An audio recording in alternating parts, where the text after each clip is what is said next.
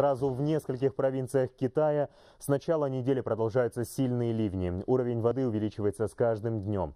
За это время жертвами стихии стали 18 человек. Семеро из них погибли в юго-западной провинции Гуйчжоу. Еще трое числятся пропавшими без вести. Более 90 тысяч жителей эвакуированы. Разрушено около 6 тысяч домов, еще порядка 16,5 тысяч повреждены. Также 300 тысяч семей остались без электричества, 100 тысяч без воды.